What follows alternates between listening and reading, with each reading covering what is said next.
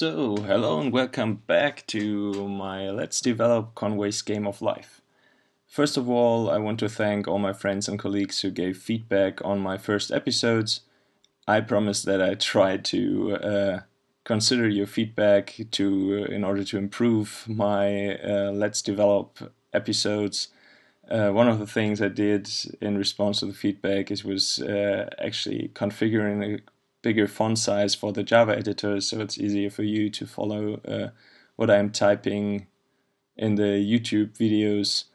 Um, another thing I did was place all my code in a GitHub repository. It's a public GitHub repository. I'm going to place the URL in the show notes. And I'm going to do a commit after every episode so that you can browse the source code I used and actually play around with it if you want to. Okay, that much for this. Let's start with a new development. Um, as you remember, hopefully, in the last episodes, I implemented the core rules of Conway's Game of Life. And of course, I covered all these rules with tests. What I want to do now is create the environment these cells lived in. And uh, as defined by Conway's Game of Life, this environment is called the universe, and the universe is actually a grid of cells. So that's what I'm going to create now, and again, I'm going to start with a test. So I create the universe test, and I create in the universe test. Now, of course, I have to import this one. Yep. Um, I'm going to create the first test before I write any productive code. And what I was actually asked over the first episodes is about how I name my test methods. And what I usually have in mind is I have a target class, which I'm going to test. In this case, it's the universe. And I want to show that the universe fulfills some property. So I write my test names in the form, let's say, the universe should remember its initial state. Actually, it should it shouldn't remember it. It should store it. So my idea is that I'm going to initialize the universe with some initial state, the seed, and uh, initially the universe should remember that before I do any updates. So first thing I need to do, of course, I need to create a universe and this universe does not yet exist. So I'm going to create the universe class just by a simple quick fix. And that being done, I want to give it its initial state. And as, as I already said, the, the state of the universe is actually a grid of cell states. So the simplest thing I can think of to represent a grid of cell states is just a multidimensional array of cell state instances, which I can create like this. And of course I need to import. But actually there's no, neither the quick fix nor the auto import uh, seem to work for inner classes. So game of life cell cell state. I've imported this and now it works. Nice. So I want to define these grids like saying cell state life for the uh, cell in the upper left corner and cell state dead for the cell to the right of it and cell state alive again to the cell on the right of that. And then I'm going to duplicate these and uh, okay in the second row uh, this one is dead and this one is dead too and this one is dead but this one is alive. Just creating a random a random fields array to see if this is going to be stored. Um, first thing I have to do, of course, with a quick fix is to create this specific constructor. I'm not going to implement anything since the, the generation I just did fulfills my test. Okay, now, um, I don't really like how this looks because uh, the cells are not aligned, so it's kind of hard to see which cell is actually alive and which one is dead. So I'm going to use a little trick here. Just say, okay, I factor out a constant for life, which is named x, and I factor out a constant for uh, the dead cells, which I'm going to name big O, and I think that this is really much nicer to read so I can just see okay wherever there's an X uh, there's an X it's an alive cell and wherever there's a big O it's a dead cell um, and they're actually neatly aligned and I can see it. I like that. So yeah let's continue. Assign this to a local variable UUT and say okay from the UUT we want to get the state. That method does not exist, so I'm going to create it real quick and it's supposed to return actually the cell state as I passed it in. Okay, that's for the implementation. I can assign this uh, again to a local variable with the, which is the actual value. I want to have this seed I, in, I put in as, uh, I'm going to call it original. It's also my expected state, but in this case it's original, so I kind of like um, having these three possibilities, the original, if there's something I put into and it's supposed to be unchanged, and the expected if there is something I did not put into, but I expect the unit under test to uh, actually generate and of course the actual is what I get from the unit under test. Okay, now um, I want to do assay assert array equals of the original and the actual. Good.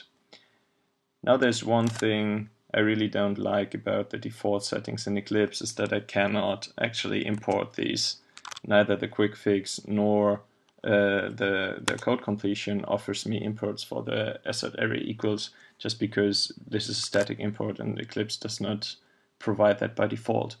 But fortunately, we can configure that.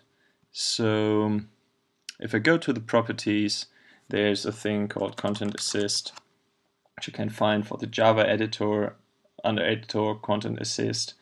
There are two settings actually I have to check. The first is that we use static imports like here this needs to be checked. Normally it is in the default settings. And the other thing is to properly configure the favorites. And here I just say, okay, give me a type, and I want it to be JUnit assert, this one. And now you see here that he added for me the org JUnit assert star uh, import, and as quick as that, I get my autocompletes. Um, and if I now remove all the thing he completed too much, I get an auto import for the static uh, import assert array equals, which is really nice.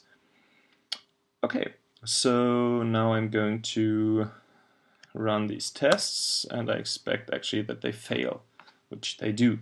This is really nice. Okay, let's go for the implementation.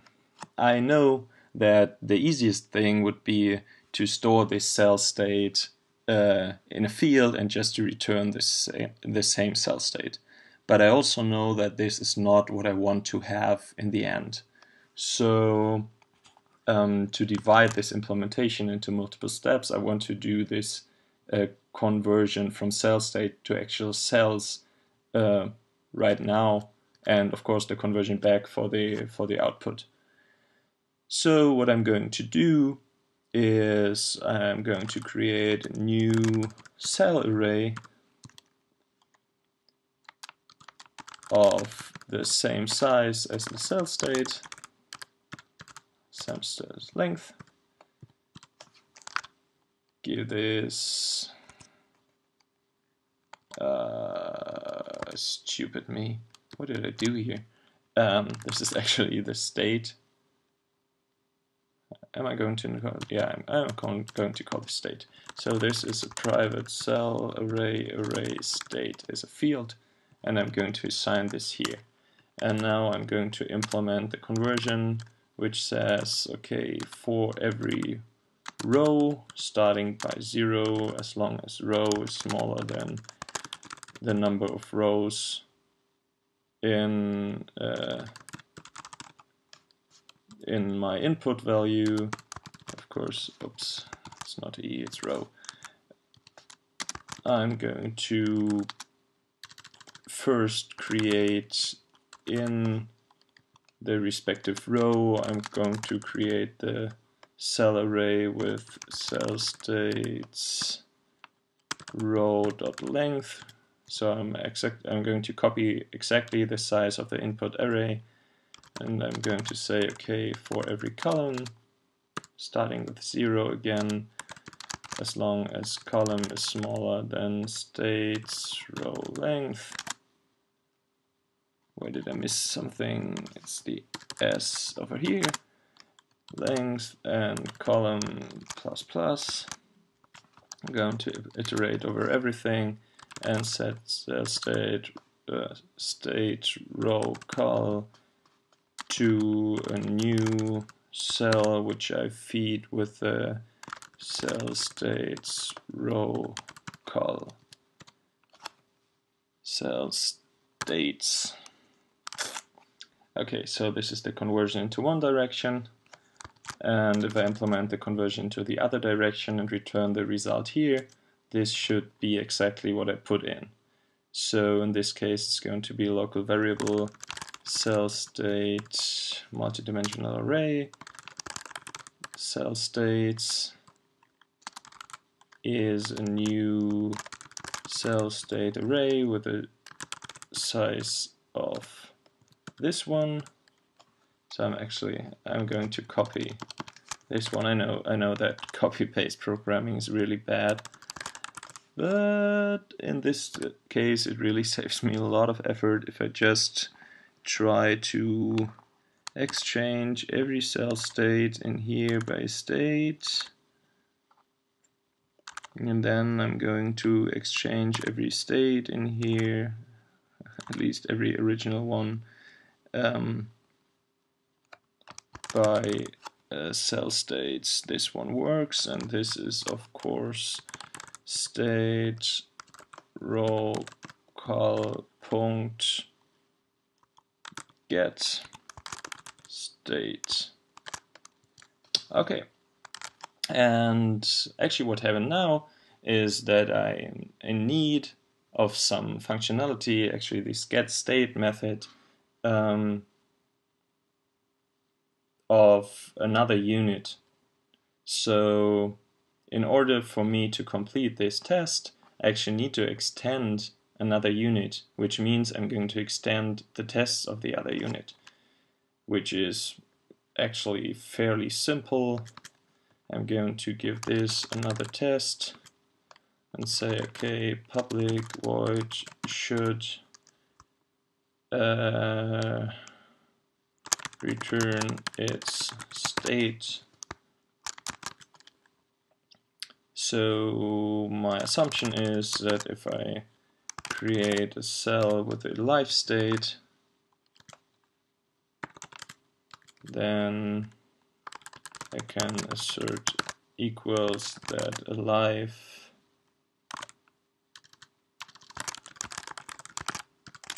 is the UUT's cell state.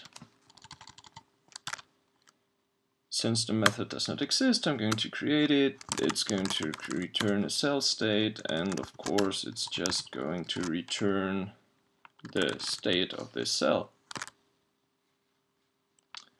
Nice and easy. Does this still run?